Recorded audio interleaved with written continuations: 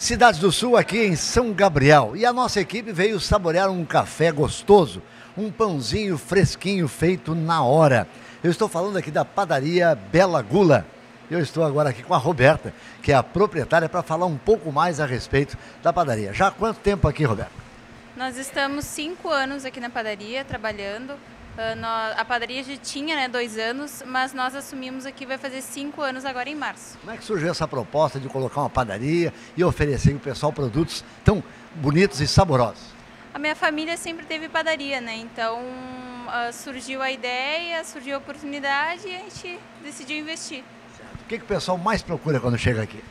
Olha, a padaria a gente não tem um produto só, a gente tem vários produtos, então a gente tem toda a linha de salgados, doces, tortas, pães, então as pessoas procuram de tudo um pouco, então a gente procura fazer tudo o que eles procuram. Então tudo que o cliente pede, a gente está sempre procurando fazer. Bom, a gente estava vendo aqui uns docinhos feitos a capricho. Que docinhos são esses?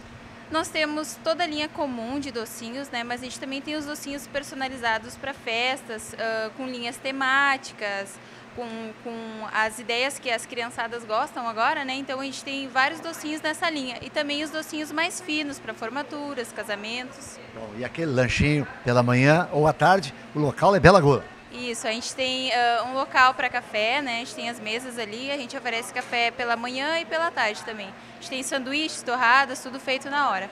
Feliz por estar em São Gabriel? Sim, é uma cidade muito boa, muito acolhedora. Obrigado. Nada. Roberta, proprietária aqui da Bela Gula Padaria em São Gabriel.